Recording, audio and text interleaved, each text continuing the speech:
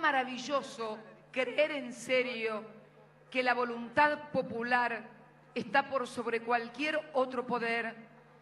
Si mi rol en la historia es haber abierto el debate por una justicia democrática, una justicia legítima y mejor en la República Argentina, estoy dispuesta a aguantar todo lo que se me venga encima. Me voy a seguir jugando como lo hice toda mi vida.